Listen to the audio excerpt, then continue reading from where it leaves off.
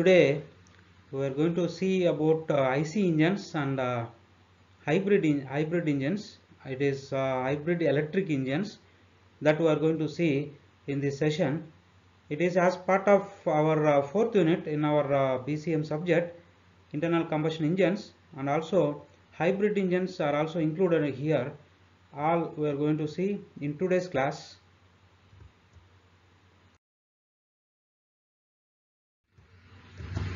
So these are the content of uh, unit number 4 internal combustion engines as automobile power plant, working principle of petrol engines, working principle of diesel engines, working principle of four stroke uh, cycles, working principle of two stroke cycles, comparison of four stroke and two stroke uh, engines, hybrid uh, vehicles, uh, hybrid electric vehicles. So these are the topics we are going to see in this session. So uh, let us start from uh, the basics and in our regular classes we have seen the components and uh, the evolution of automobile engine and evolution of um automobile. Today straight away we shall start from basics again. It is starting from heat engine. The it is a device used to convert heat energy into mechanical energy heat energy is obtained by combustion of fuel. So it is the very basic uh, heat engine. Again uh, this can be classified under two groups. One is internal combustion engine and another one is external combustion engines. So we are going to see internal combustion engines in detail. So for our uh, syllabus external combustion engine is not required. So no need to worry about external combustion engines so heat engine. So heat engine uh, is uh, classified under these these three uh, these two groups. One is uh, internal combustion engine and another one is uh, external combustion engine. The internal combustion engine is uh, a regular engine that we find in day-to-day life, where combustion of fuel takes place with the air takes place inside the engine cylinder itself. So we are going to see what is cylinder and uh, what is inside cylinder, uh, what is combustion process. All those we are going to see in uh, today's session. So here the combustion takes place in inside the engine cylinder. So whereas in external combustion engine, uh, it, it uh, takes place outside the engine. So external the process taking place external to the engine engine cylinder combustion of fuel takes place outside the cylinder so if you see example it is uh, turbines so turbines uh, we are going to see next unit gas turbines. And uh, if you see IC engine a very good example is a petrol engine and a diesel engine. So coming to the next topic it is uh, classification of IC engines.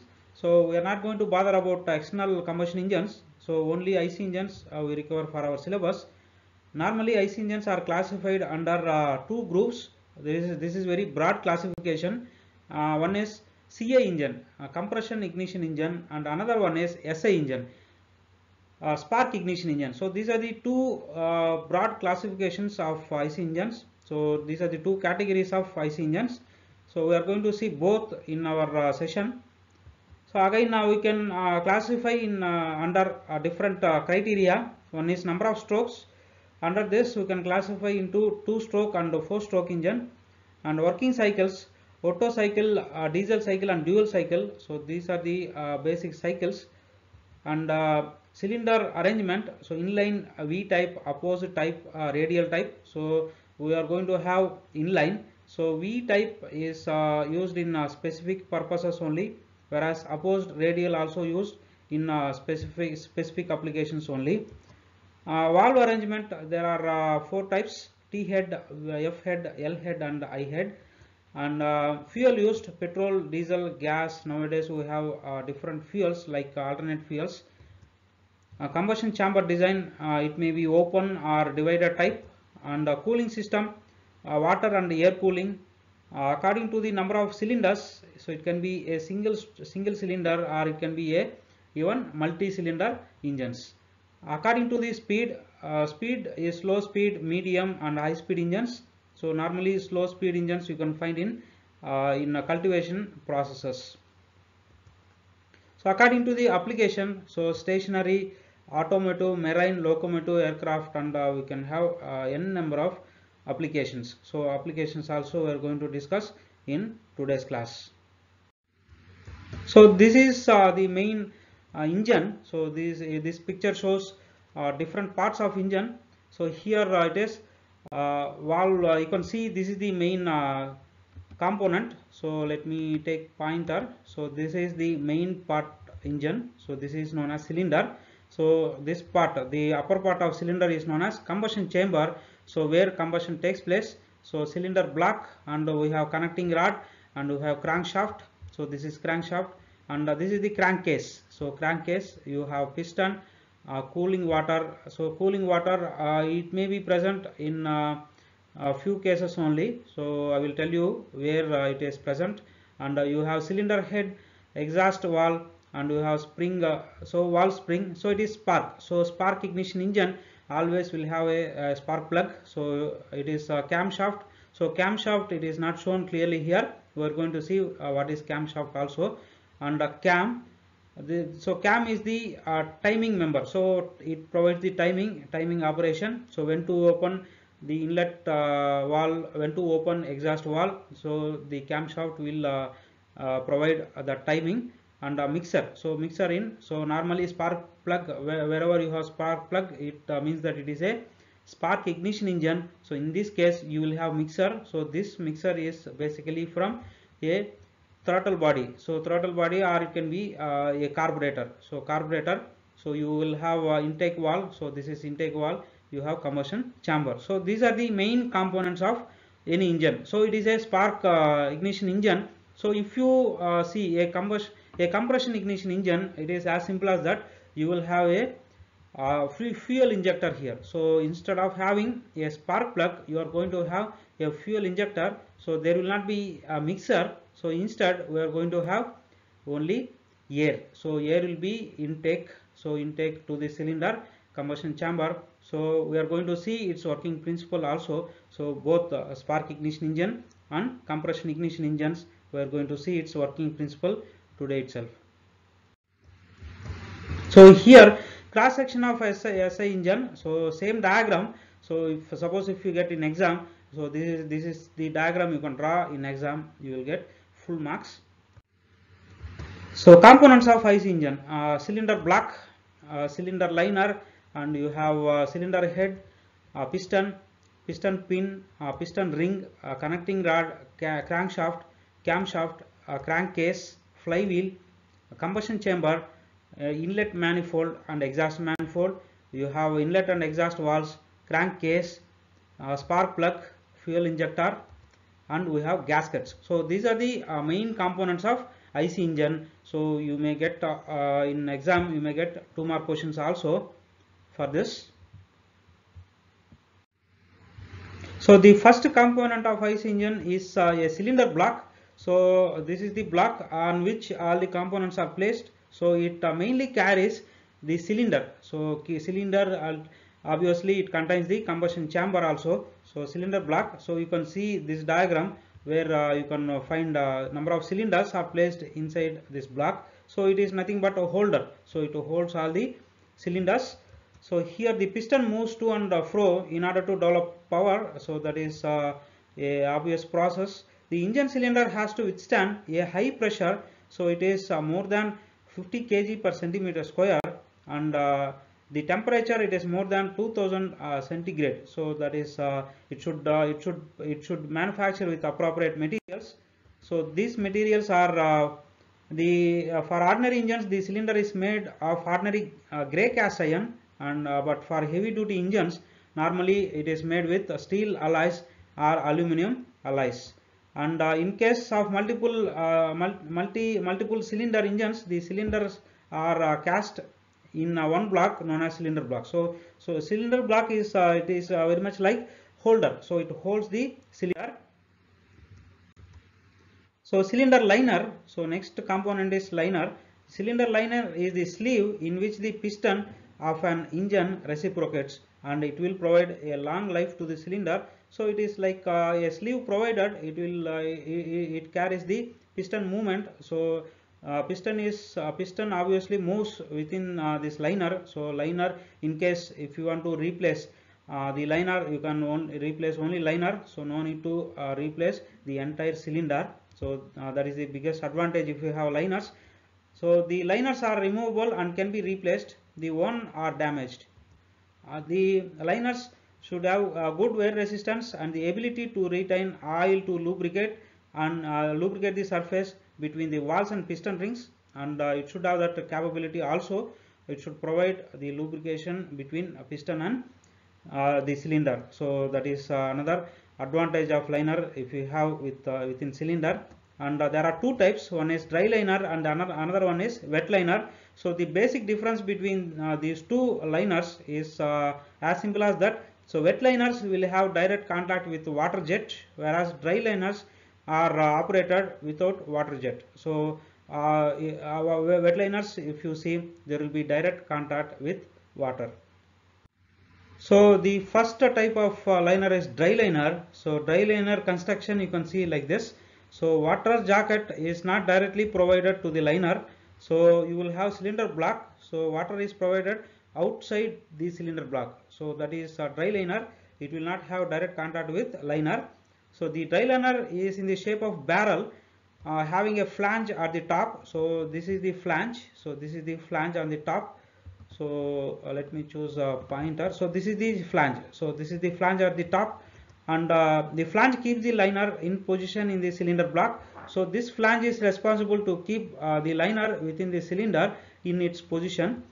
And uh, the dry liners are not in direct contact with the cooling water. And uh, having wall thickness varying from 1.5 to 3 millimeter so it is a very thin uh, liner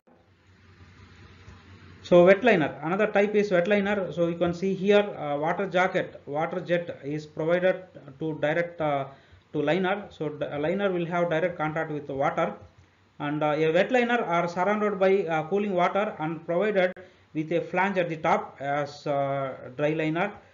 The lower end of the wet liner is sealed with the help of sealing, uh, sealing rings in order to avoid leakage of water in the crankcase.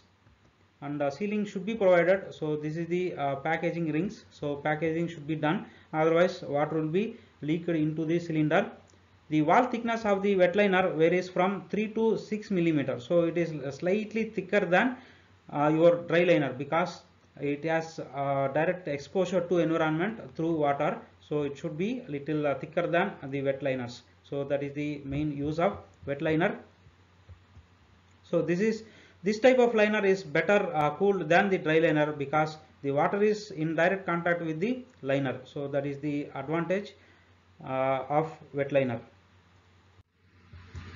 So cylinder head uh, it is very very important uh, component. Cylinder head it is fitted on the end of the cylinder and uh, close to the cylinder bore so here uh, this is the top uh, component in engine. The cylinder head contains inlet and uh, uh, exit valves. So exhaust valves and inlet valves are provided uh, on the head for admitting fresh charge and exhausting the burnt gases. The in petrol engines you have a spark plug. So engine head uh, cylinder head carries a spark plug in case of uh, petrol engine uh, for igniting the fuel air mixer towards the end of compression stroke and uh, in diesel engines the cylinder head contains a nozzle. So nozzle is nothing but the fuel injector. So fuel valve for injecting inside in, in, injecting the cylinder. So it injects the uh, diesel directly into the cylinder uh, combustion uh, combustion chamber. So that is uh, the difference between a petrol engine and a diesel engine. And uh, the copper or asbestos uh, gasket is provided between the cylinder engine cylinder and anti-cylinder head to uh, make it up uh, airtight joint so you have to uh, provide between the cylinder and the cylinder head. It should be it should be tightened using some sealing material. It is normally asbestos or copper is used. And the materials used for cylinder heads are normally cast iron aluminum alloy. These are the two popular materials used so next component is uh, a piston. So piston is a very very important component in any uh, reciprocating engine. So here a piston is uh, otherwise known as heart uh, for any engine. So piston so piston is uh, a heart of an IC engine. Functions is to transmit uh, the force exerted by burning of charge to the connecting rod. So it has to transfer the energy that is produced out of combustion to the connecting rod. So connecting rod absorbs absorbs that and uh, they are manufactured using these two uh, manufacturing methods. One is casting and another one is forging method. So this should be a good uh, heat conductor and also it should have good uh, greater strength at uh, higher temperatures. So it, it, it has to tolerate that uh, higher temperatures. So made of uh, aluminum alloys. So it should be as light as possible. That's why aluminum is uh, preferred. Uh, it should be light in weight. uh, it, it, it can uh, made in ca using cast iron uh, chrome nickel alloy. So nickel iron or alloy uh, that is nickel iron alloy or cast steel. So these are the uh, general materials used in manufacturing a piston. So piston pin so piston pin is also known as gudgeon pin or uh, wrist pin. So it links the small end of the connecting rod and the piston. So the piston pin is fitted in the bosses uh, which are uh, in the piston. So boss is nothing but a provision uh, to uh, fit the piston pin.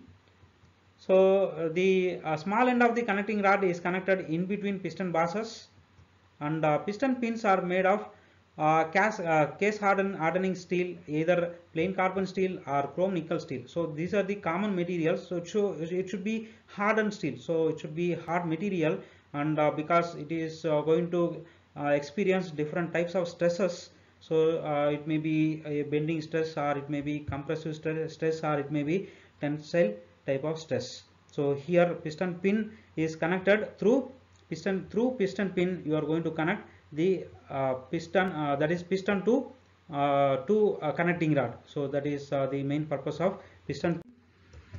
So piston ring. So piston rings uh, these are uh, in circular uh, form and uh, the materials used uh, cast iron alloy cast iron uh, silicon and manganese um, are alloy steels. So these are uh, common materials. And piston rings are generally coated with chromium or cadmium. So these are the uh, coatings you can provide. So it has elastic properties even at uh, high temperatures.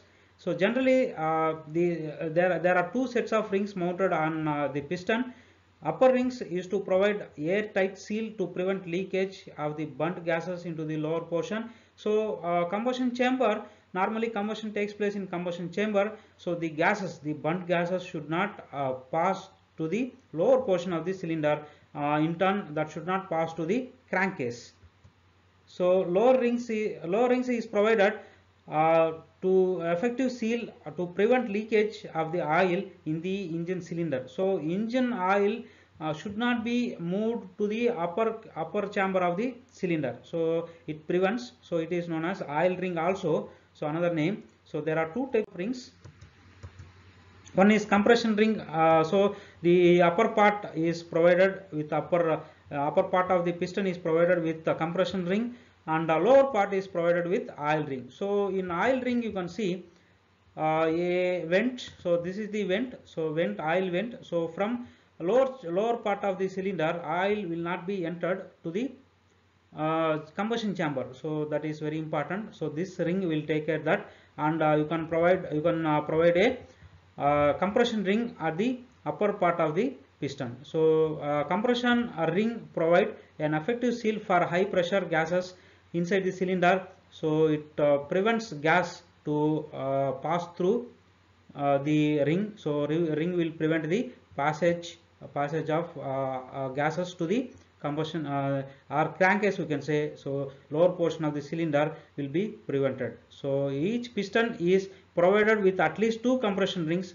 Two uh, rings at minimum we require. So oil rings oil rings these rings wipe off the excess oil from cylinder walls.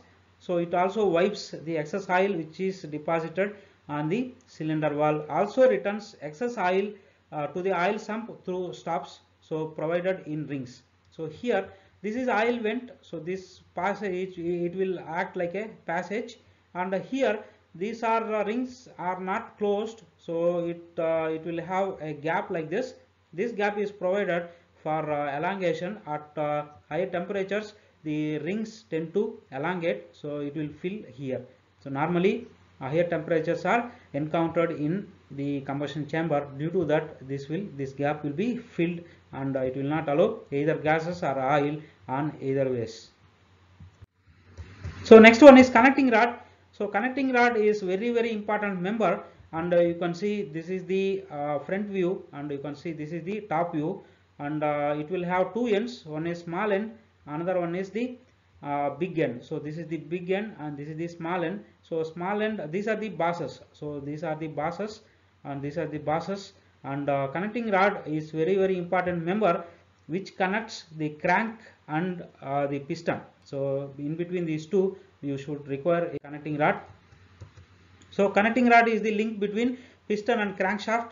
And the main functions is to transmit force from the piston to the crankshaft and uh, it converts reciprocating motion of the piston into cylinder, uh, circular motion of the crankshaft. So reciprocating motion will be converted into uh, rotary motion. So crank will rotate in rotary wave only and the aluminum alloys, uh, plain carbon steel and nickel alloys are used uh, for manufacturing a connecting rod. So normally aluminum alloys, uh, plain carbon steel and nickel alloy these are the popular materials to manufacture a connecting rod.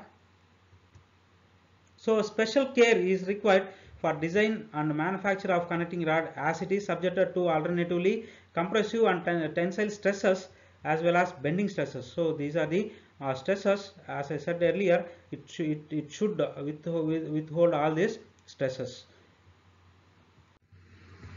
So crankshaft it is another important member. So here the uh, extended portion is known as crank. So here you can see uh, one, two, uh, three, four cranks. So for, it is considered as the backbone of any IC engine. So it is uh, like a piston is a heart. So here uh, the backbone is a crankshaft. So such a important member in IC engine. So main function is to convert the reciprocating motion of the piston into rotary motion with the help of connecting rod. So connecting rod is connected to this and uh, the uh, big end. So big end is connected to crankshaft and uh, small end is connected to piston of connecting rod. And uh, this shaft con contains one or more eccentric portions called cranks. So this projected portion is known as crank. And uh, that part of uh, the crank to which bigger end of the connecting rod is fitted that is using a pin that is known as crank pin so this is the uh, crankshaft. So this is the line diagram. You can draw this diagram in exam if you get in uh, exam. So one end is connected to flywheel and this is the front end and uh, you you can see number of cranks here. So these are the cranks. So you so this portion is known as crank web and uh, you will have crank pin. So crank pin connects that extended portion. So it has been experienced that too many uh, main bearings create difficulty of correct alignment. So alignment is another problem here. You will have uh, many number of bearings. So bearings uh, to align all these bearings it is very difficult task. Hard billet steel carbon steel nickel chromium and other uh, heat treated alloy steels are used to manufacture crankshaft. So the next component is uh, camshaft. So camshaft is uh, very similar to crankshaft. If you see camshaft is positioned above the cylinder cylinder head whereas crankshaft is provided within the crankcase. So here uh, uh, through the use of an eccentric cam lobes push the valve uh, valves open. So valves are operated by these cams. So cams are fitted on the one shaft that is known as camshaft. So you will have a number of bearings and in between you will have cams. So this projection projected portion is known as cam. So cams are provided on the camshaft. So here the valve springs close them and uh, usually made of chilled cast iron, billet steel, forged steel, grey cast iron or nickel steel. So these are the popular materials uh, used in manufacturing this camshaft and uh, you can see uh, camshafts are provided here. So two camshafts are required for uh, uh, one cylinder. So here this is one shaft and this is the another shaft. So here both shafts contains lobes. So these are known as cam lobes so those will operate the valves so that is the main purpose of camshaft. So camshaft carries number of cams. So crankcase. So it is the casing uh, which is actually provided at the bottom of the cylinder. Uh, this carries in case of uh, two stroke engine crankcase carries even air fuel mixer in case of SI engine.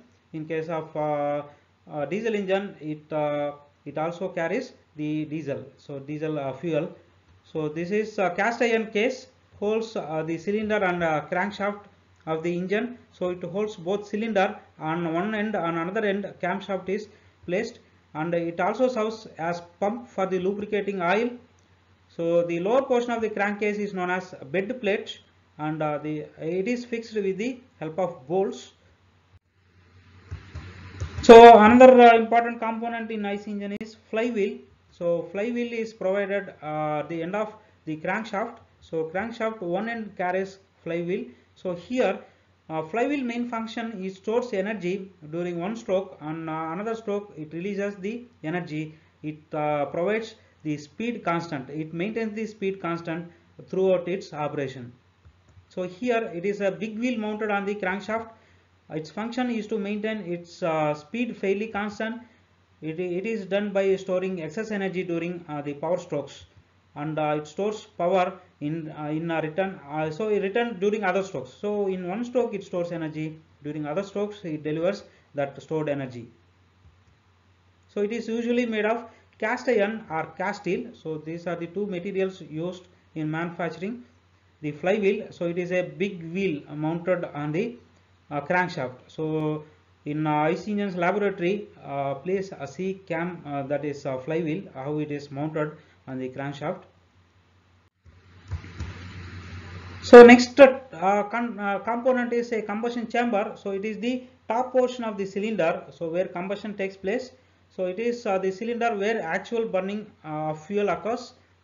So it is the uppermost portion of the cylinder enclosed between the cylinder head and the piston and uh, when the fuel is burnt much thermal energy is produced which generates excessively high pressures causes the reciprocating motion of the piston. So here the piston uh, experiences that energy that is produced uh, during the combustion process. So next uh, uh, next uh, component is inlet manifold. So it is intake way. So through the inlet inlet manifold the air are air uh, air fuel mixer is drawn into the cylinder. Remember the air is in case of CI engine air fuel mixer is in, in case of SI engine. Please remember this.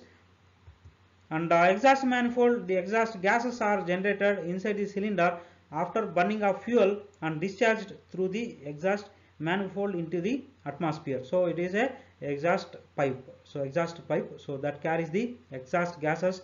Those are produced inside the combustion chamber so these are the uh, exhaust manifold. The, these are the two manifolds which are uh, required by any engine. So next component is inlet and exhaust valves.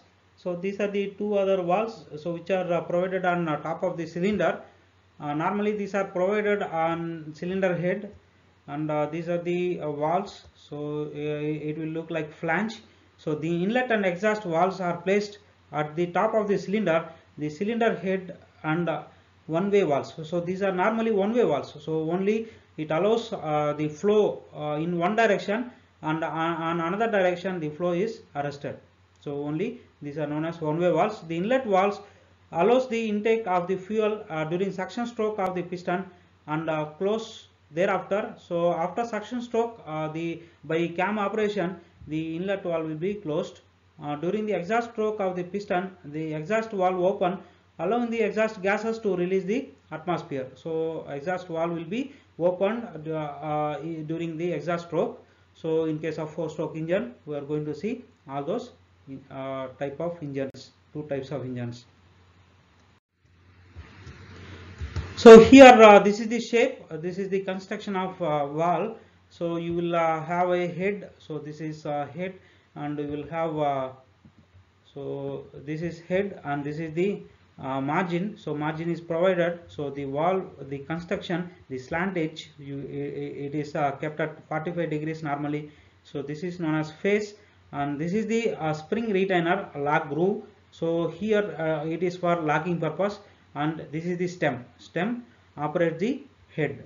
So inlet valve is made of plain nickel nickel chrome or chrome, chrome molybdenum and the exhaust valve is subjected to more heat hence it should be made of high heat resistance material such as silicon uh, chrome uh, steel. So silicon chrome steel uh, is one popular combination and high speed steel. So cobalt chrome steel and tungsten steel. So these are the combinations we can use to manufacture a uh, a valve. So it can be uh, exhaust valves. So exhaust valves are uh, manufactured using these materials whereas inlet valve is uh, manufactured using these materials plain nickel nickel chrome or chrome molybdenum so these are the materials for inlet and exhaust valves.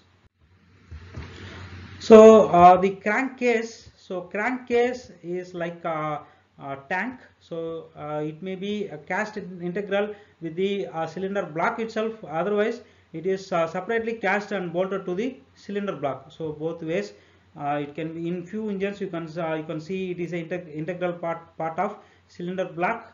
In a few cases it is a separate part that is fixed to the cylinder block. And it supports crankshaft and camshaft uh, with the with the help of bearings. And uh, sometimes the bottom of the crankcase may be used uh, as oil pump oil sump. So it uh, it is like tank. It is made of cast iron uh, aluminum alloy or alloy steels. So spark plug so this is uh, normally used in uh, SI engines. So you will not find this in uh, CI engines. So this is the terminal and here this is the insulator. Insulator is provided on the body of spark plug. So it will have a shell and it will have a gasket. So gasket is provided uh, to prevent the leakage and uh, it, it, will have insulator here so uh, it will have the gap here. So uh, two electrodes. So, so this is the one electrode uh, and another one is the side electrode. So between these two the spark is generated. And uh, this is the normal spark plug you can find in market. So the function of the spark, spark plug is to ignite the air fuel mixer and uh, completing the compression stroke. So uh, normally uh, the spark plug will will be actuated through electrical means at the end of the compression stroke. So in any petrol engine. So this is very important component in uh, any SI engine whereas in CI engine we are going to have the fuel injector. So it is used, it is usually mounted in the cylinder head. So it is the uh, at the center places you can find uh, this is mounted and uh, like fuel injector is also in in case of CI engines at the same place you will find the fuel injector in C in case of CI engine. So uh, reasons for this spark plug uh, failure. So there are a few important reasons. So one is a sooted spark plug and another one is the uh, spark plug insulator damage and one spark plugs or it can be incorrect tightening. So incorrect tightening also causes the uh, failure. So these are the uh, four important causes for failures. And uh, gaskets. So gaskets are uh, actually like seals. So the gaskets are nothing but seals. The gasket is a piece of soft sheet having similar holes and cuts as uh, in the cylinder head and cylinder block. So it is uh, used as a sealing material it prevents leakage and ensures tight fit joints. The material of the gasket must be able to withstand high pressure and temperature. So normally these are the materials used in uh, manufacturing gaskets. Cork gasket, rubber gasket, stainless steel gasket, gasket and asbestos gasket. So asbestos gasket is popular one. Uh, you can find in any uh, uh any workshop or even in any uh, marketplace. So nomenclature used in IC engine, um, these stems you have to remember and uh, you can see this is the uh, cylinder arrangement, piston cylinder arrangement. So here this is the bore. So this is the bore and uh, you can see this is the cylinder and this inside cylinder you will have piston and uh, piston travels from so there are uh, actually two terms one is top dead center and another one is the bottom dead center so when piston uh, travels from dot, top dead center to bottom dead center, it is known as stroke length. So it is known as stroke length. So when the piston is at uh, TDC now top, top dead center, so here the piston is at BDC. So bottom dead center. So these are the two uh, centers. And uh, these are the uh, nomenclature used widely. So cylinder bore top dead center uh, bottom dead center clearance volume. So clearance volume is nothing but so after reaching top dead center uh, there will be volume. There will be uh, volume that is provided for combustion purpose. So that volume is known as clearance volume. So the served served volume is nothing but within cylinder uh, it travels from top dead center to bottom dead center. That is known as swept volume.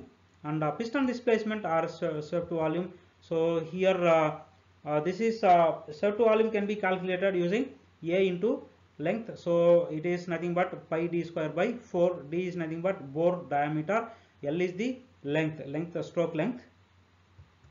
And uh, compression ratio it is very very important. So vs plus vc by vc. So here vs plus vc is nothing but complete uh, volume. So vs and vc and uh, vc is uh, the clearance volume. So vc is clearance volume and vs is the swept volume plus clearance volume. So compression ratio is the ratio between these two. It is nothing but complete volume uh, by uh, the clearance volume. So ratio of complete volume to clearance volume is known as compression ratio. It is very very impact important factor in IC engines.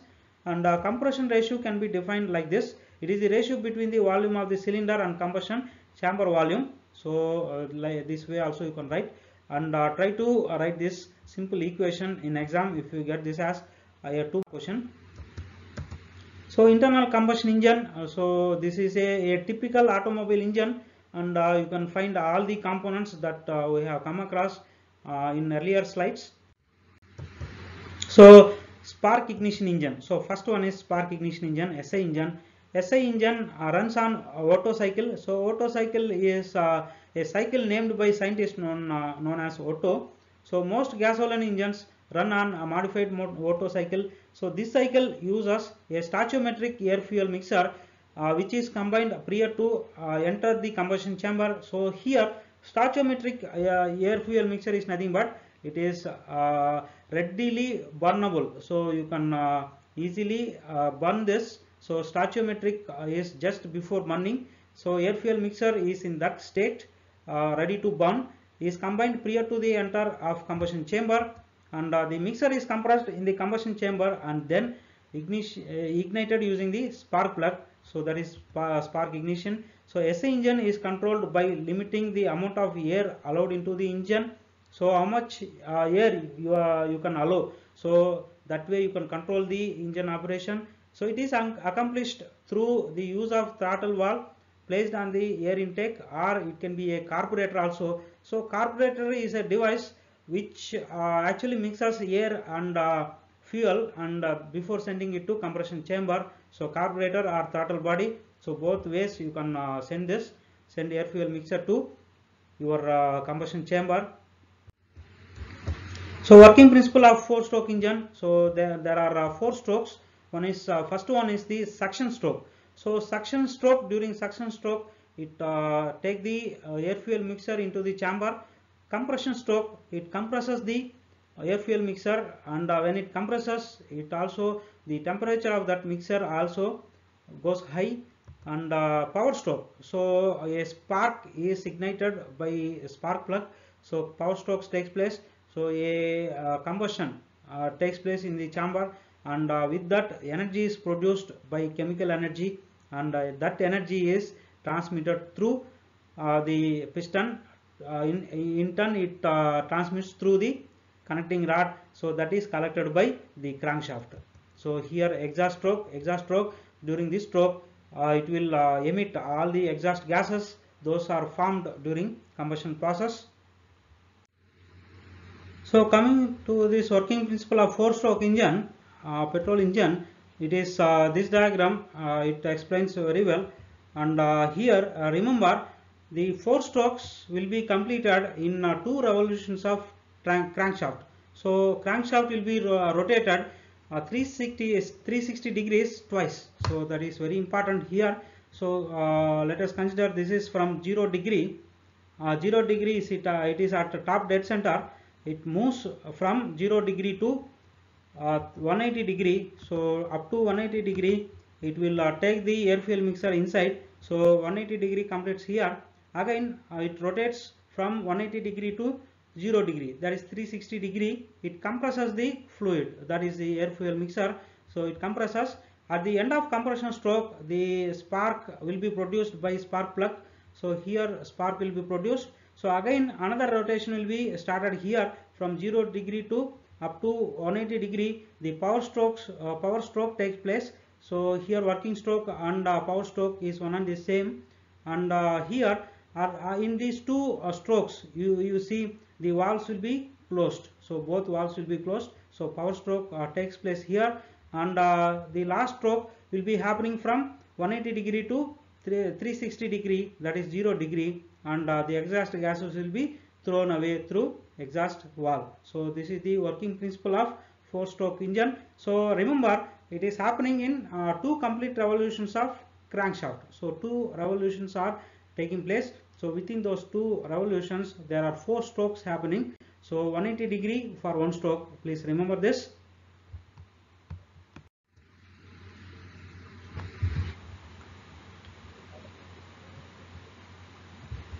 so here uh, four stroke petrol engine advantages if you see uh, dedicated lubrication system makes to uh, engine more wear resistant and uh, better efficiency than two stroke engine.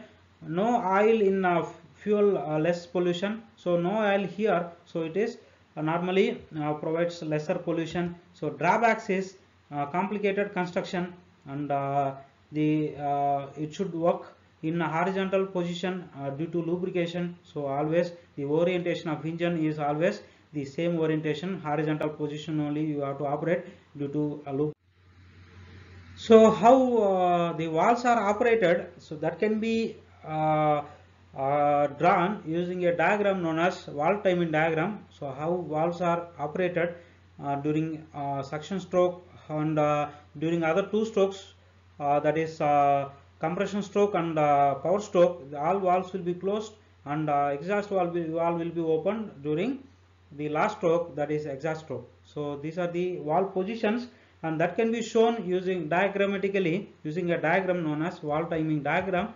And uh, the exhaust movement uh, that is the exact movement uh, movement at which each of the valves opens and closes with reference to position of piston and crank can be shown graphically that is known as valve timing diagram and uh, inlet and exhaust valves open and close at both dead centers. Uh, similarly, all, pro all processes are sharply completed at TDC and uh, BDC. So here it is theoretical diagram. So in this diagram we assume that the valves will open exactly at TDC and BDC positions and uh, it is actually practically uh, impossible to achieve this and there will be a slight variation. I will show you that so this is theoretical valve timing diagram. In theoretical valve timing diagram, you can see here. So exactly the valves are uh, closed and open uh, at uh, the top dead center and bottom dead center. So here this is uh, actually theoretical diagram only. It differs. Uh, the practical diagram uh, always differs from this. So here you can see top top dead center and bottom dead center the valves are getting open. So inlet valve exactly opens at top dead center and uh, exactly closes at uh, at bottom dead center. Similarly uh, the exhaust valve opens at bottom dead center. Exhaust valve closes at top dead center. So without any variation. So here it is uh, practically impossible to achieve similar way and it happens. There will be a slight variation. I will show you that so IVO is nothing but in inlet valve open, IVC inlet valve close, IS is uh, start of ignition and EVO exhaust valve open, EVC exhaust valve close and TDC is top dead center, BDC is bottom dead center. So this is the nomenclature that we are going to use in valve timing diagram. So it is only theoretical valve timing diagram. The actual time, valve timing diagram differs from this. I will show you that. So valve timing diagram for four stroke petrol engine. So this is uh, the actual valve timing diagram you can see here inlet valve is not opening at exactly TDC. So before TDC so this is known as before TDC it opens uh, that is by 20 degrees. So 20 degree of revolution of crankshaft it opens here and it uh, closes it is not closing at exactly BDC instead it is closing after uh, bdc after bdc it may be 35 degree. So it is not exact value. It differs from manufacturer to manufacturer. And then you have this uh, ignition. So compression uh, stroke so compression strokes uh, stroke take place from IVC up to here. So uh, even compression stroke is taking place uh, up to 35 degree before TDC so here ignition is taking place at uh, 35 degrees before TDC and after this you have expansion stroke. So expansion stroke up to here. So expansion stroke exhaust valve opens up to here. Expansion stroke is nothing but power stroke. So during this time power is generated. So after that exhaust valve opens and exhaust stroke taking place. So exhaust valve is closing after TDC by 10 degrees. So by 10 degrees so it is not exactly closing here. After TDC only it, get, it is getting closed. So this is this uh, this degrees you can uh, uh, plus or minus 5 degrees you can uh, write in exam. Uh, it differs from manufacturer to manufacturer so you will not lose any marks. But you should remember before TDC after TDC before BDC after BDC if you mention that you will get full marks. So we have seen uh, spark ignition engine. Uh, now we shall move on to uh, the compression ignition engine so it is CI engine. In short it is known as CI engine. So here you will uh, have an inlet manifold uh, for air only. So it takes air inside the cylinder. So here compression ratio uh, plays a major role. Diesel engines have higher compression ratios. It is 20 is to 1 for uh, gasoline engines uh, for petrol engines it is only 8 is to 1 so it is uh, very uh, low in case of gasoline engine whereas in case of uh, diesel engine it is uh, 20 is to 1 it is little higher. And uh, diesel engines also tend uh, to be more expensive. Uh, because of the weight and compression ratio tend to have lower uh, maximum rpm ranges than gasoline engines. So that's why you have all diesel cars are costlier. Uh, whatever vehicle that comes with a diesel engine becomes costlier. And this makes diesel engines high torque rather than high horsepower and the and that tends to make diesel cars slow in terms of acceleration. So if you see the startup pickup it is uh, better in case of petrol engines whereas that is little slower in case of diesel engines. That is uh, this is the reason uh, for that low acceleration. So diesel engines must be fuel injected and uh, in the past uh, fuel injection was expensive and less reliable. So in uh, earlier days. So this uh, fuel injection uh, is not much reliable. Nowadays with uh, technological development uh, it is almost equal to a petrol engine. So it is easy to maintain nowadays. So compression ignition engine uh, diesel engines tend to produce more smoke and uh, smelly uh, smell funny. So you can see uh, it produces uh, more smell and diesel engines are uh, harder to start in cold weather. In that case you have to use a glow plug. So glow plug is uh, a sort of uh, heater so that heats the diesel engine to require temperature before starting. So diesel engines can require you to wait before starting the engine. So you have to use a glow plug. So in earlier vans if you see a matador van you can see there is a heater so driver will be pressing that heater for a while and then he starts the engine. So that is the uh, that is nothing but glow plug. So he is actuating glow plug there. And the diesel engines are much nicer nicer and tend to vibrate. So you can uh, find more vibrations and uh, noisy. So uh, diesel engines are not quite as uh, we see in petrol engines. Diesel fuel is less readily available than gasoline. So that is another drawback here. So working principle of four stroke diesel engine uh, it uh, is as similar as uh, your petrol engine four stroke engine.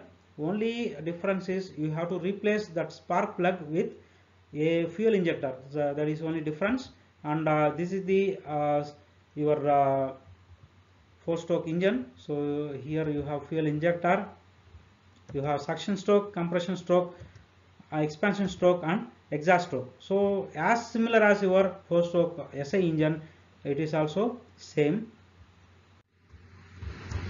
And uh, here uh, a small uh, animation you can uh, understand easily. So this is the air intake. So air intake is taking place here. So inlet valve opened and uh, this is uh, the compression stroke. So both valves are closed. So inside air is compressed and you have fuel injector on the top and uh, fuel injection is just a spray. So it uh, fuel is sprayed inside the chamber at the end of compression stroke.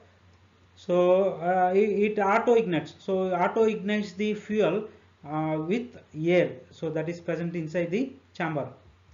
So here combustion takes place and uh, exhaust take place. So during exhaust the exhaust valve is opened there. So this is uh, exhaust valve and uh, the exhaust intake. So the exhaust and intake are simultaneously happen and it goes to next stroke. So it goes to next cycle. So it is it is one cycle of operation as similar as we saw in our, in our petrol engine.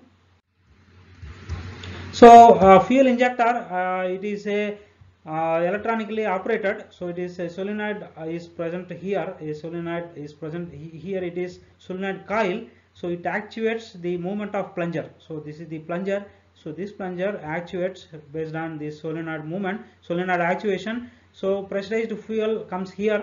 So this is spray tip. So it sprays inside the chamber only spray. So it will not uh, uh, uh, you will not have any jet of uh, pressurized uh, diesel. Instead it will spray that diesel. So this is a fuel filter so it comes here. So this actuates the plunger up. So it will allow the fuel will, will be allowed inside the spray uh, spray tip and uh, fuel will be delivered to chamber. So this is uh, the construction of fuel injector. So uh, same component we have seen a spark plug in case of SI engine. Please remember in case of SI engine we have spark plug. In case of diesel engine we have uh, injector fuel injector. So FI so working principle of four stroke diesel engine it is same as uh, uh, petrol engine. So this is uh, inlet stroke. So this is the suction stroke. FI is nothing but fuel injector. During suction stroke it takes air inside only air. In case of petrol engine we have seen air fuel mixer. So it is not taking air fuel mixer inside here. It is only air. So air is compressed here. On compressing the air air reaches the uh, auto ignition temperature of diesel so diesel is sprayed so that uh, spray of diesel will uh, cause the combustion in the chamber. So combustion takes place and uh, this is the exhaust stroke. So as similar as your uh, four stroke petrol engine only difference here is it is auto ignition type whereas there it is ignited by spark ignition. So it is spark plug.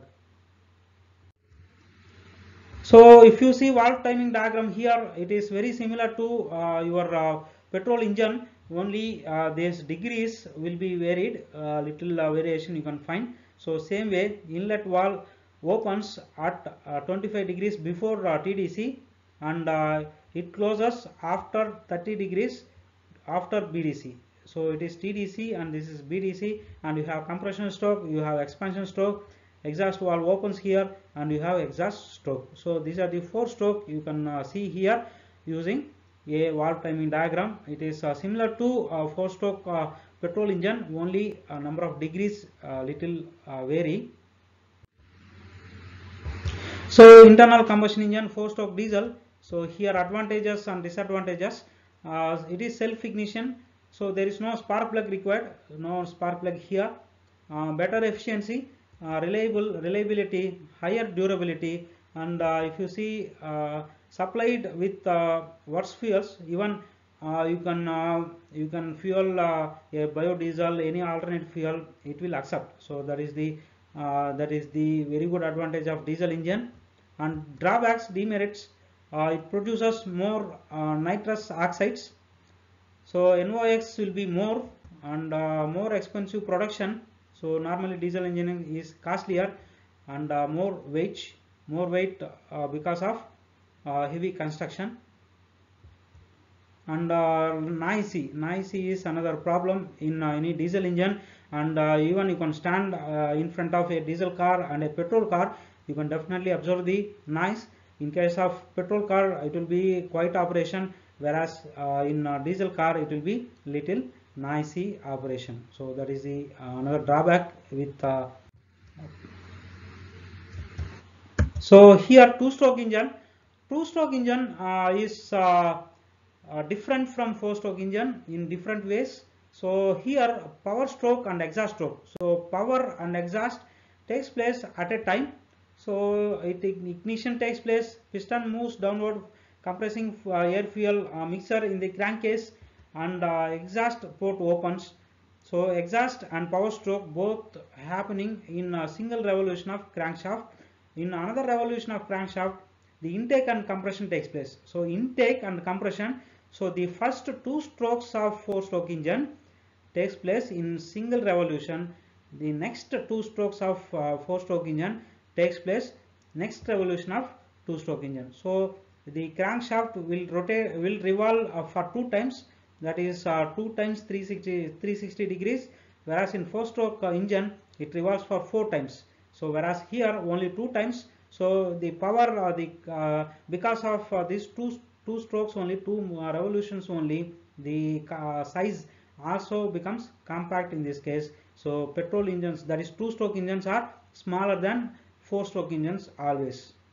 So here uh, during uh, intake stroke or compression stroke uh, inlet port opens compression compressed air fuel mixture rushes into a cylinder and piston upward movement provides further compression. So i will show you diagram. It will be more clear.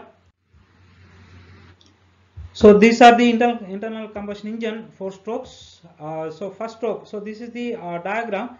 So uh, during this stroke. So here uh, the uh, piston. Piston moves here. Uh, there is a important factor.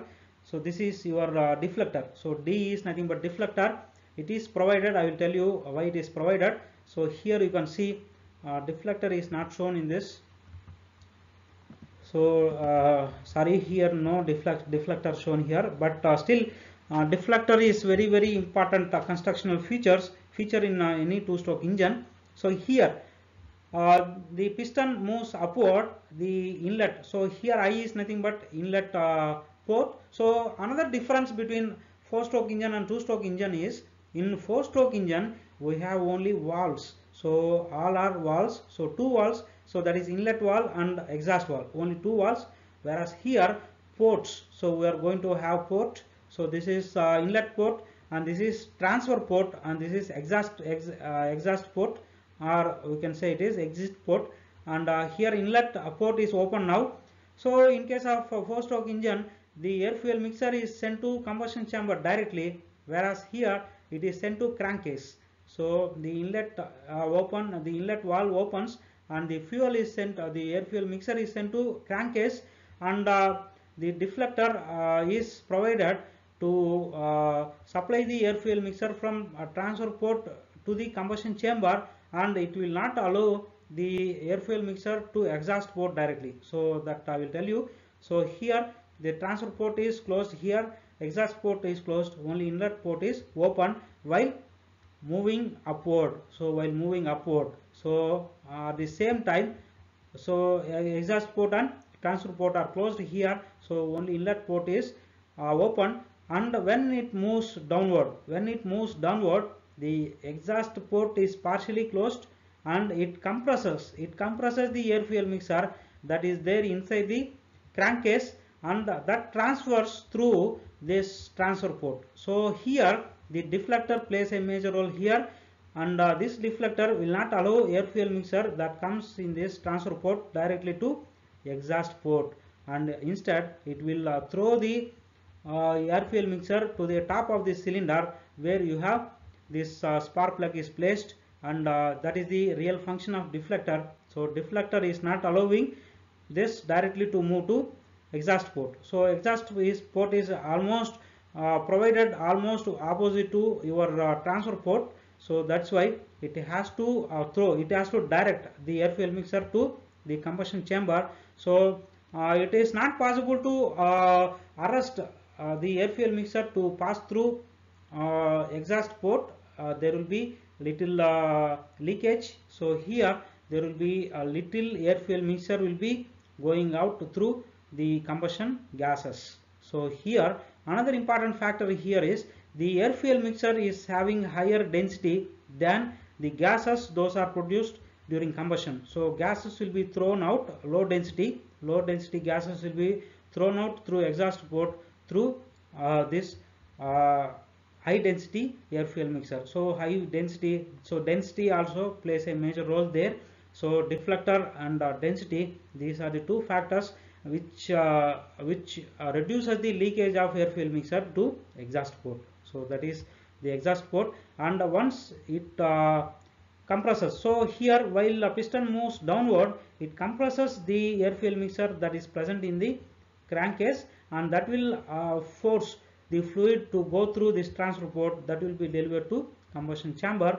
There the combustion takes place, combustion takes place, there again it will throw away. So similarly the operation rotates. So that cycle happens cyclic way.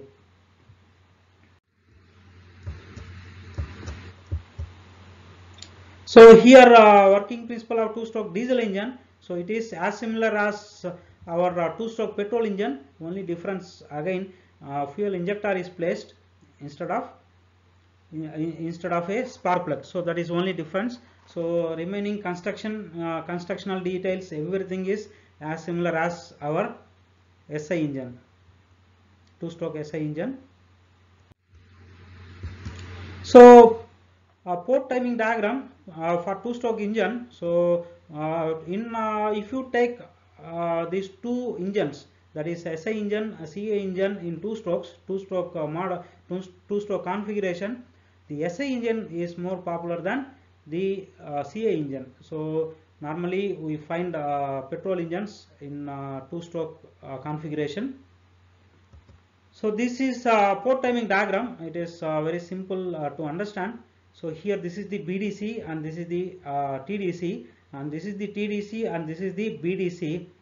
When a piston moves from bottom dead center, right? So here transfer transfer port closes. So we can uh, come from anywhere, anywhere from TDC also we can uh, come. So it is a cyclic process. Uh, let us start from BDC. So BDC here transfer port closes only after 30 to 40 degrees after BDC. So when it passes through BDC, it revolves here. So it passes through BDC, bottom dead center to top dead center, it starts moving and uh, uh, in between 30 and 40 degrees, uh, it takes, it transfer port closes. So transfer port getting closed here. And then it travels, further it travels uh, top towards top dead center. Now it is traveling towards top dead center. Then exhaust port closes. So exhaust port will be closed after uh, transfer port closes. So exhaust port will be closed after 35 to 50 degrees so 35 to uh, 50 degrees. Again these degrees are dependent on manufacturer manufacturer. So it varies from engine to engine. So that is why it is range is uh, given here. You can write any value but uh, try to give appropriate values. So here further the piston moves upward direction. So upward direction it is moving and inlet port opens. So further it moves this inlet port will be open. Inlet port will be open so it is further it is moving so inlet port will be open so when it reaches nearer to uh, top dead center you have to ignite the fuel so ignition taking place ignition taking place 15 to 20 degrees before TDC. So before TDC, just before uh, TDC, it is ignition is taking place. So here, if you pre-ignite or uh, uh, pre-ignite uh, the mixer, there will be noise known as knocking. So knocking uh, is also another Uh, important uh, uh, phenomena in engine. So it is also known as detonation. So knocking pre-ignition, it is due to pre-ignition only. So so you are igniting the fuel air fuel mixer 15 to 20 degree 20 degrees before TDC that is very very important so now the piston is reaching TDC TDC now inlet port closes so inlet port closes so now piston starts moving from TDC to TDC to uh, BDC now it is start moving and uh, it closes uh, the inlet port similarly it opens exhaust port so exhaust port will be open 35 to 50 degrees before DD, BDC and uh, 35 degrees to 50 degrees before BDC and uh, exhaust port opens and now transfer port opens 30 to 40 degrees before BDC. Now during this period the exhaust gases are allowed. The complete exhaust gases will not go away uh, during uh, this period. Only few gases will be allowed to go out and uh, this charge when this charge replacing the exhaust gases here that process is known as scavenging. So scavenging is another two more question and it, it is nothing but the fresh charge replaces the exhaust gases in the combustion chamber so that phenomena is known as scavenging so so scavenging is taking place here. So here in this period tpo2 transfer port open to transfer port closes. So uh, it, it, will have it, it, it will have scavenging process during from tpo to tpc so again the process repeats. So next cycle starts. So this is the one cycle. It is another uh, important 8 mark question in this uh, topic. So it is a port timing diagram for two, two stroke engine. Directly you can draw for a spark ignition engine.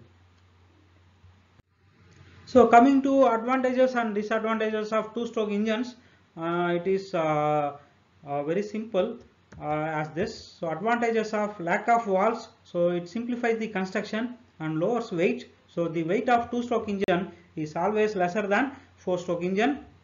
And uh, the fire once every revolution so it is uh, more power will be produced and can work uh, in any orientation. So no need to have in only horizontal orientation. You can have it even upright position also. So good power to weight ratio. So this is another advantage. And drawbacks lack of dedicated lubrication system makes the engine to wear faster. So uh, you should uh, always add the engine oil. So that is uh, even if you see petrol bunks the two stroke engine where which whatever bike or car they used to fill oil along with petrol. So necessity of oil addition into the fuel so it produces lower efficiency.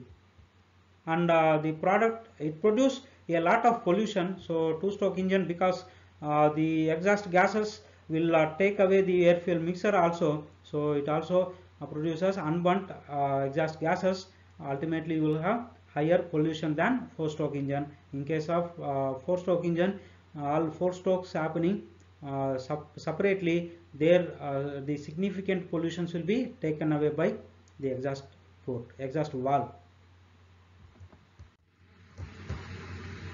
So the next differences comparison of four stroke and two stroke engine uh, we shall see in different aspects and uh, the first aspect completion of cycle uh, in four strokes the piston of are in two revolution of the crankshaft whereas it is happening in two strokes of the piston in one revolution of the crankshaft. So it is very very important.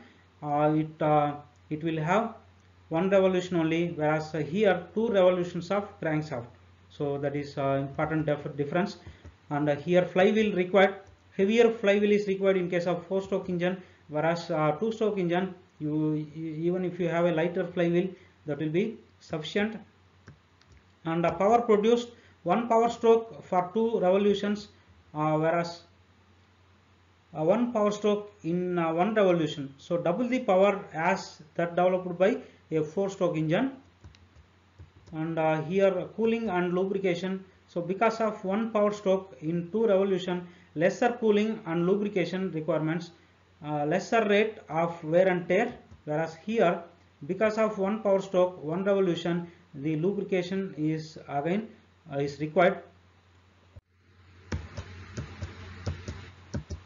So next uh, aspect is valve mechanism contains valves and uh, maintenance required whereas contains ports no valves so less maintenance.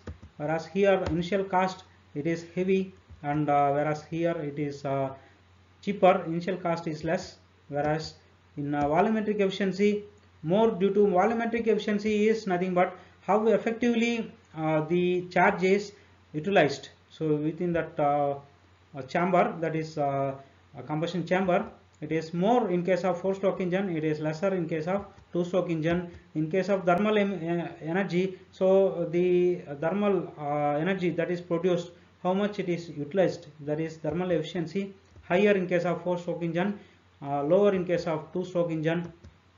Part load efficiency it is higher in case of four stroke engine and uh, lower in case of uh, two stroke engine. And uh, applications you can find everywhere. And uh, it is having now almost two stroke engine is obsolete.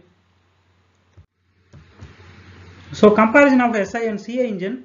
So it is uh, another comparison. Here fuel used is petrol whereas in CI engine is diesel.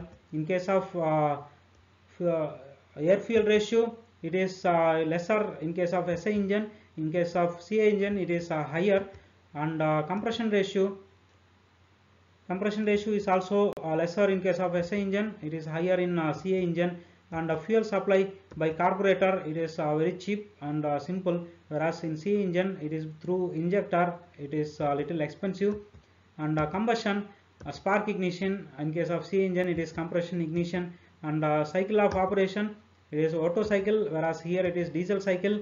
And uh, in case of uh, power developed in case of SI engine it is less. And uh, in case of CI engine it is more. And uh, control of power quantity governing. So whereas uh, governing is relevant to carburetor and quantity quality governing. So in case of running cost it is higher in case of SI engine uh, it is lower in uh, CI engine. And uh, applications you have wide varieties of applications of SI engine and CI engine is also uh, is uh, is also is having equal applications equal applications. So coming to the applications of IC engines there are enormous number of applications. So everywhere day to day life we find so many applications of IC engines a few are listed here. Uh, road vehicles it may be scooter or motorcycle or uh, bus or truck or lorry anything. Uh, even IC engine is used in uh, aircraft locomotives uh, civil engineering equipment for bulldozer bulldozer scrapper uh, power shovels and in pumping sets cinemas hospitals where power generation is done using IC engines and several ind- industrial applications. Everywhere you can find the application of IC engine. So IC engine is one of the important element in our day-to-day life. It, it provides the mobility from one place to another place.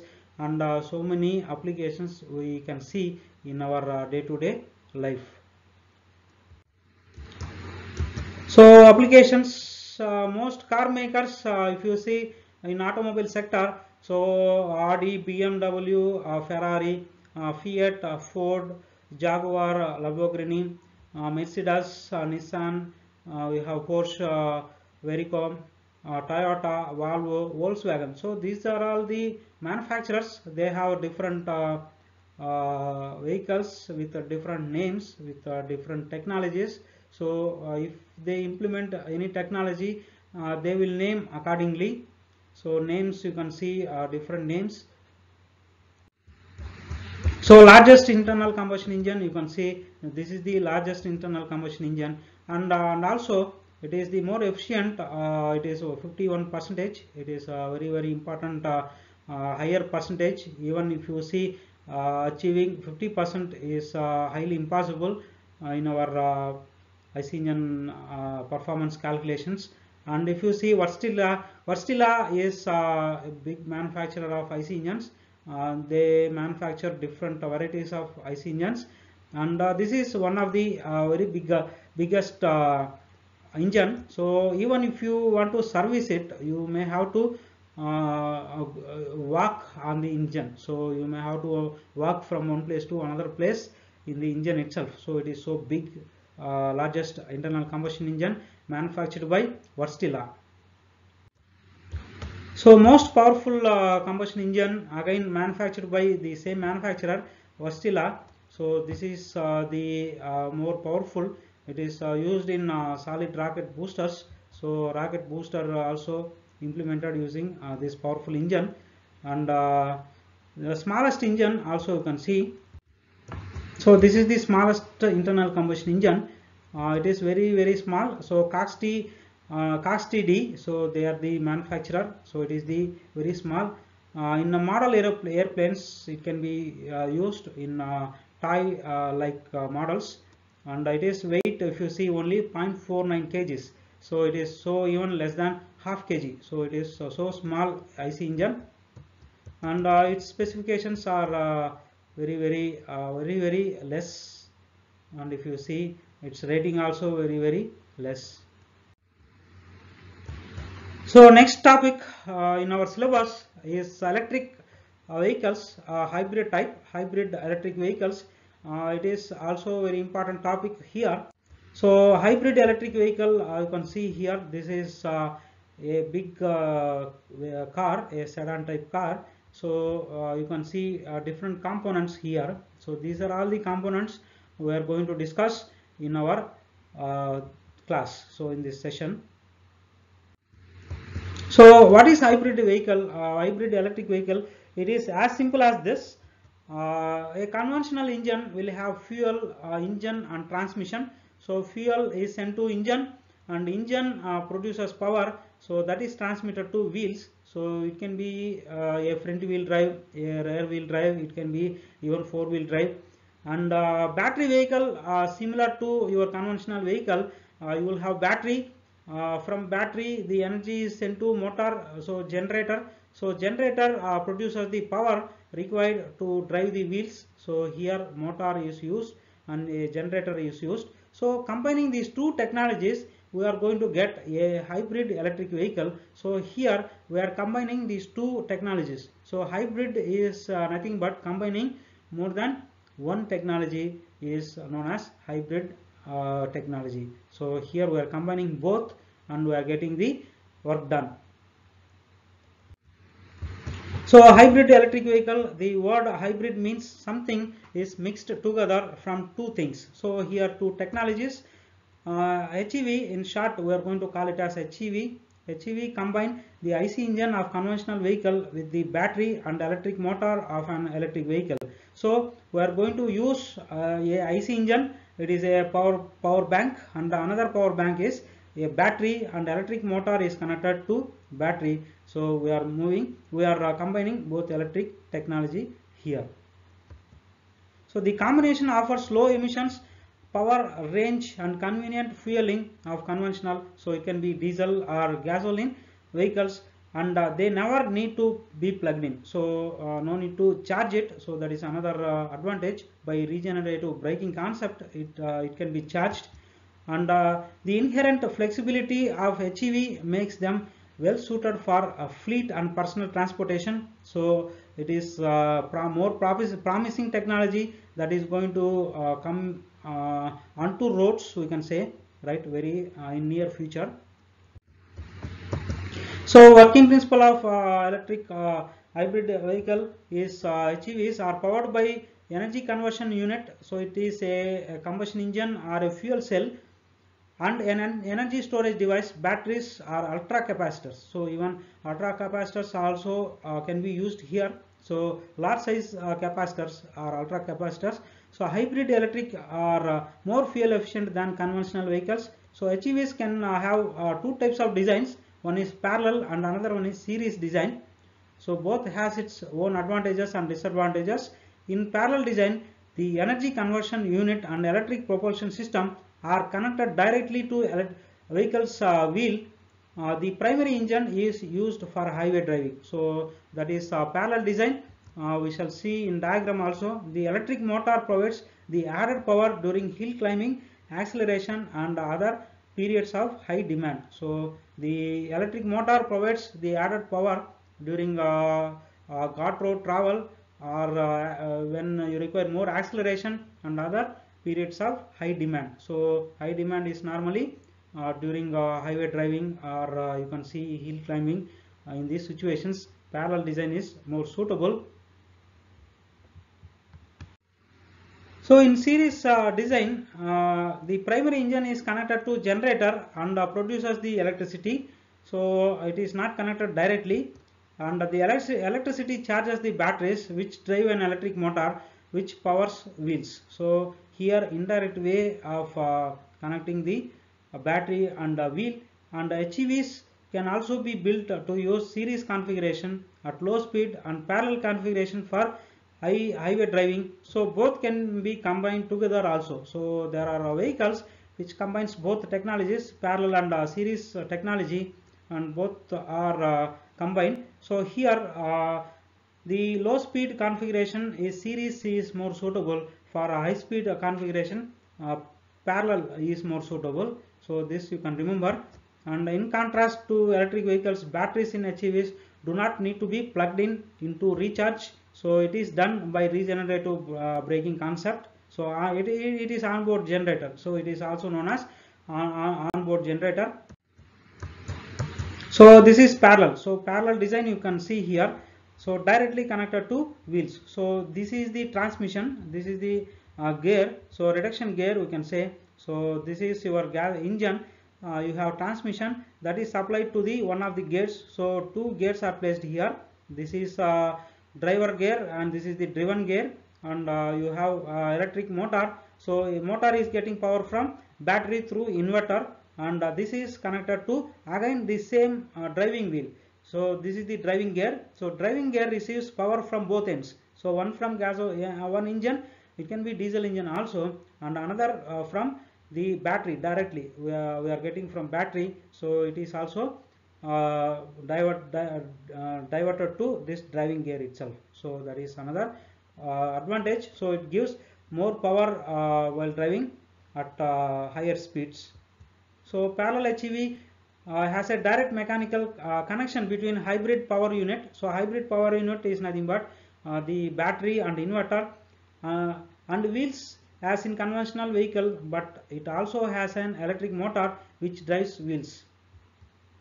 So for example a parallel vehicle could use power uh, produced by an internal combustion engine for highway driving while using both engine and uh, electric motor power for acceleration. So for highway driving you can use a gasoline engine for uh, uh uh, local driving you can use the uh, battery. So battery can be suitable here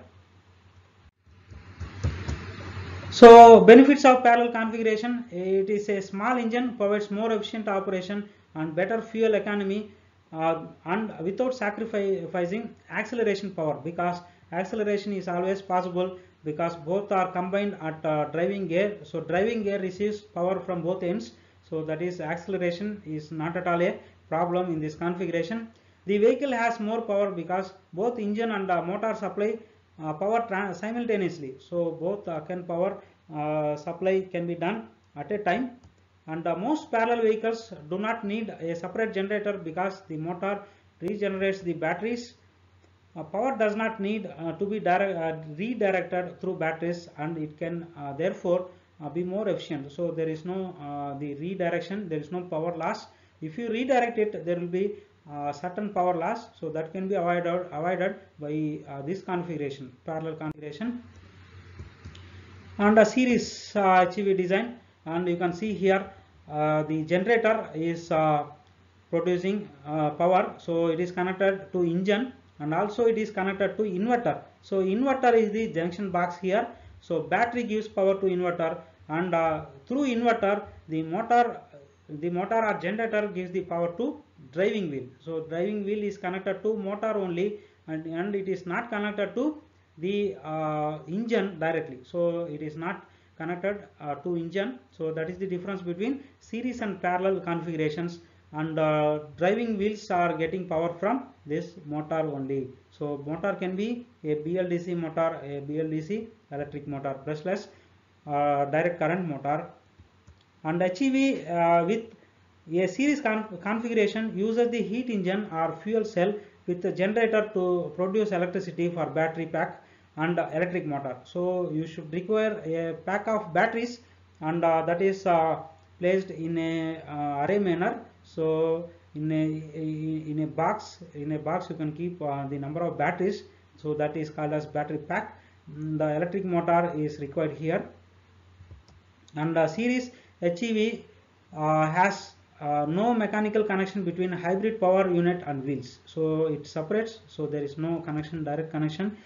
All motive power is transferred from chemical energy to mechanical energy. So this is the energy transfer uh, taking place from chemical energy to mechanical energy and from mechanical energy to electrical energy and back to mechanical energy to drive wheels. So that is uh, the energy conversion process taking place in series HEV design. So from chemical energy uh, to mechanical energy and from mechanical energy to electrical energy and back to mechanical energy so that mechanical energy drives the wheels. So that is series uh, configuration of HEVs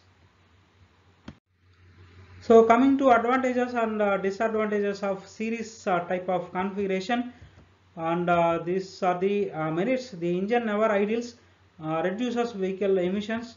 The engine can be continuously operated in its most efficient region. The engine drives generator to run at optimum per, uh, performance. The design allows for a variety of options when mounting engine and uh, vehicle components. So the design allows for a variety of options. So that is the biggest advantage with uh, uh, series type some uh, series hybrids do not need transmission. So transmission can be avoided here. As uh, we saw in uh, uh, parallel parallel configuration uh, it uh, must require a transmission that is gearbox. It is nothing but a gearbox. And demerits if you see heavier batteries battery packs than parallel vehicles. So it requires more batteries. So that will be added weight to vehicle.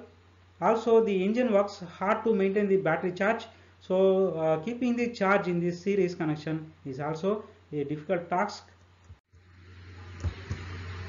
So hybrid electric uh, vehicle components, uh, these are the components in hybrid electric vehicle. Electric traction, so those are motors and controllers. Electric energy storage systems, batteries and ultra capacitors. Hybrid power units, that is SI engine or a uh, CI engine or it can be a gas turbine. Even fuel cells can be used.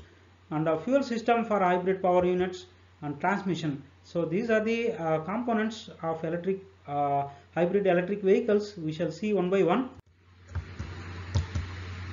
So here uh, these are the other uh, uh, component areas where a lot of research is going on. R&D area so these are emission control systems, energy management and system controls, uh, thermal management of components, lightweight and aerodynamic uh, body uh, chassis. Lot of research is going on these areas. Uh, low rolling resistance, so that include including body design and uh, tires. Uh, reduction of accessory loads. Hybrid electric vehicle motors or controllers. If you see, motors are energy suppliers of HEV drive systems.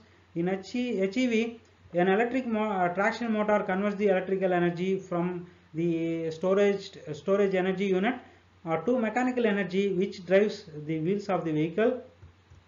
Unlike a traditional vehicle uh, where the engine must ramp up before the full torque can be provided and an electric motor provides full torque at low speed. So that is another uh, feature of HEV and uh, most of the electric machines used in hybrid vehicles are brushless DC motors. So th those are known as BLDC motors. These are widely used in uh, even in two. So coming uh, to these batteries.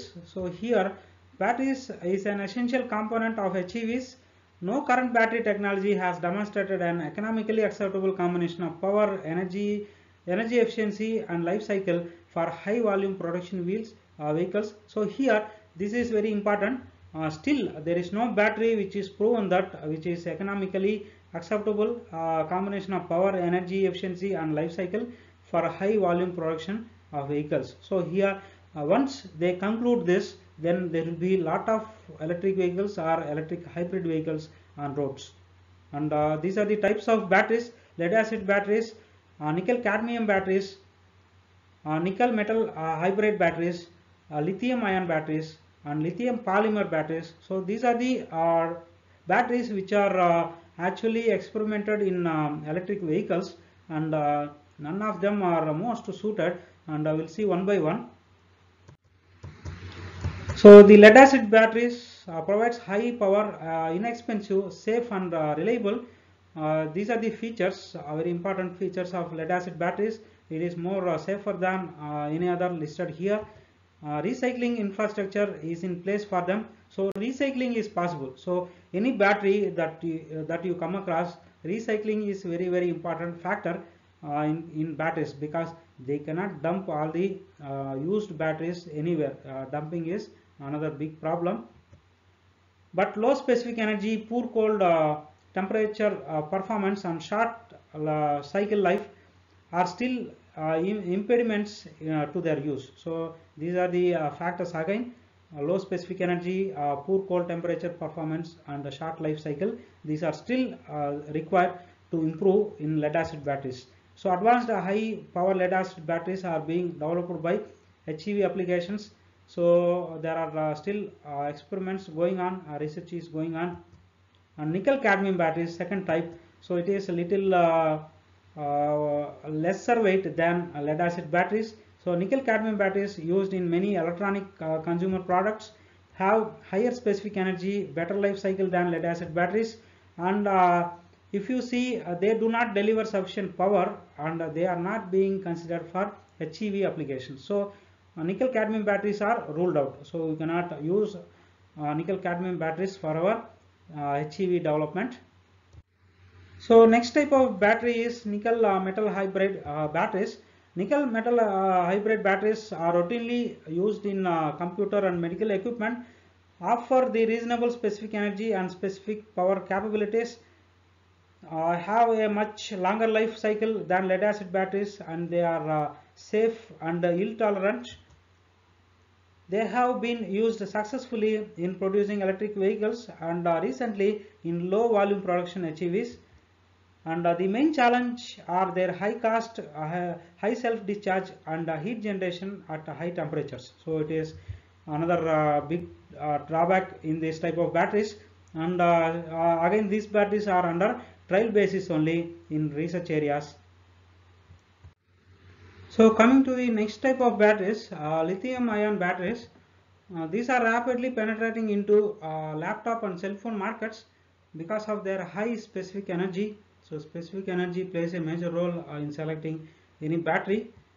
Uh, they also have high specific power, high energy uh, efficiency, good high temperature for performance and low self discharge. So self discharge is also another factor need to be considered and uh, components of lithium ion batteries could also be recycled. So recycling is possible uh, using these batteries. to make them uh, commercially viable for HEVs, further development is needed. Still, uh, research is going on.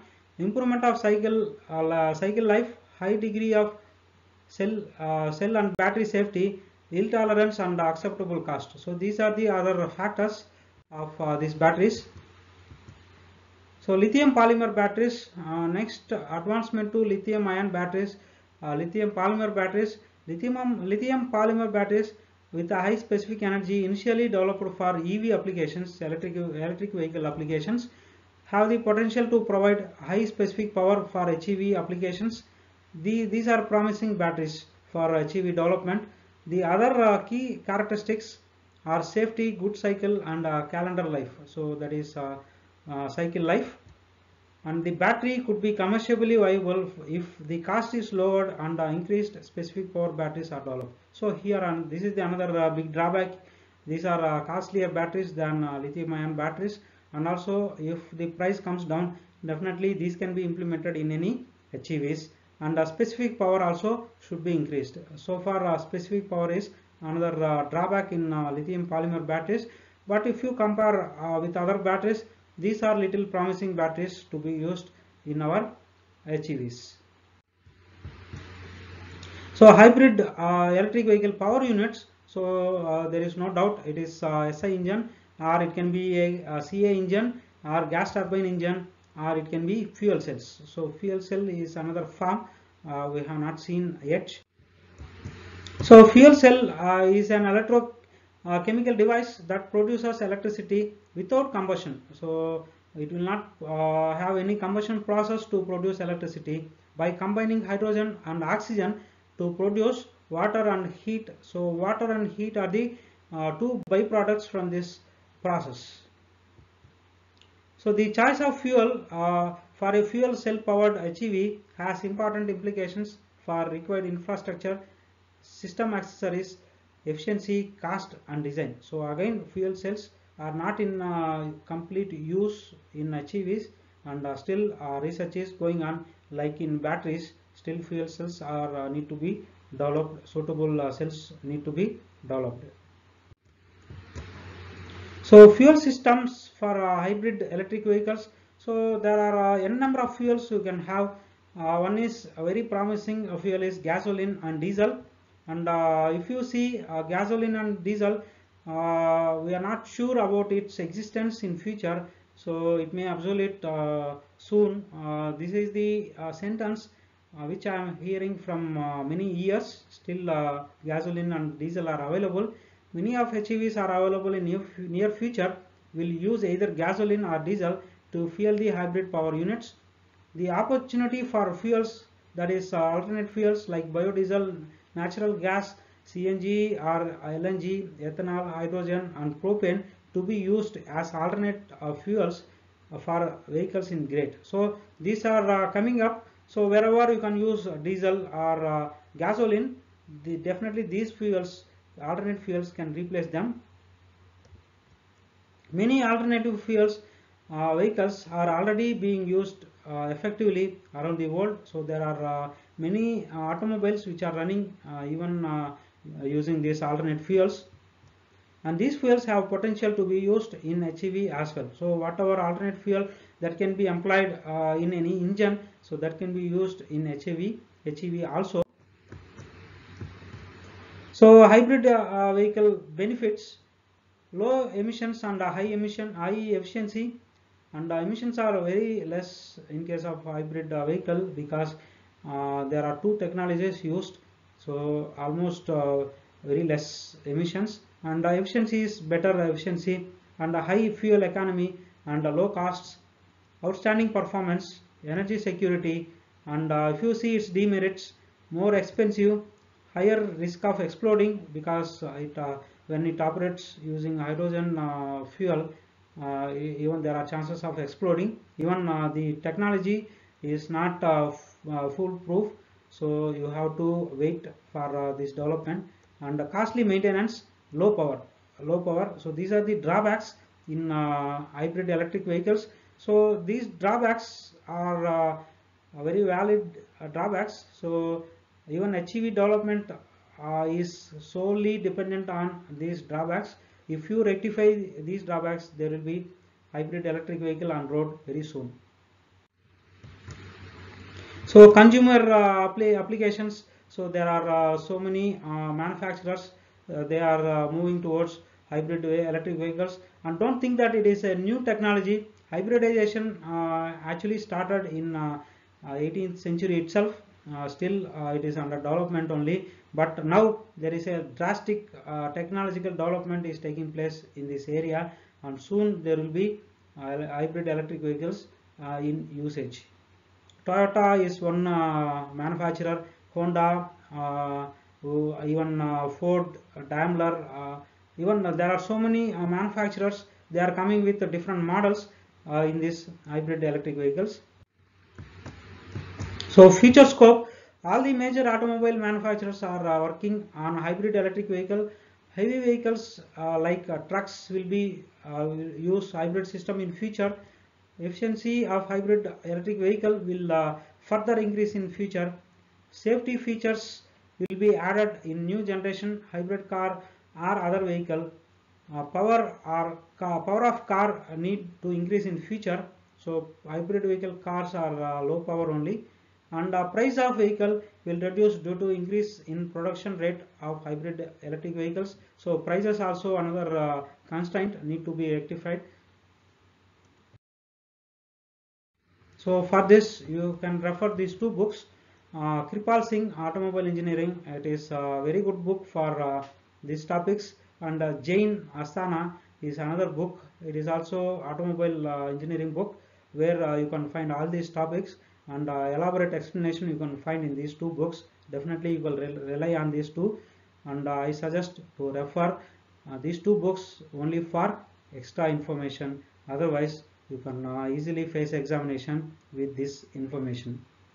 And uh, I request you all uh, to stay safe at home Uh, this is very important at this point of time. Uh, for now we shall conclude. Thank you